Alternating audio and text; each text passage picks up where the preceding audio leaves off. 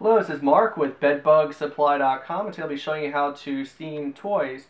We get this question a lot from people asking how do we treat our toys from our children? We don't want to use any chemicals on them. Uh, steam is one of the best options that you can use. Uh, for example, we have a steamer here. It has a triangular attachment. If you don't have a triangular attachment, you can also use more of the rectangular ones as long as it has multiple jets on it. You also take like a regular microfiber toweling. This one happens to have clips on it or you can use rubber bands. This one happens to have clips and rubber bands. The trick to steaming a toy is to hit all the cracks and crevices on the toy. Move it one inch per second. So for example, this could be a nice place for them to hide all the little cracks. You want to take your steamer, turn your steam adjustment now about 25% down, that we have less force coming out and more heat. And you work your way slowly across the toy any kind of crack or crevice you can find. Be very thorough.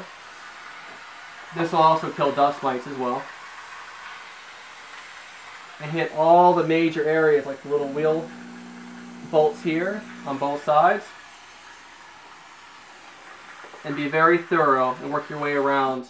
You can also flip it upside down and hit the bottom areas as well. And penetrate through all the cracks and crevices. Move very slowly, one inch per second. This is only for demonstration purposes. But just take your time and everything. It takes about 20 to 30 minutes to dry depending on your, your temperature setting in your house and your fan. If you have any questions, you can reach us on the web at bedbugsupply.com.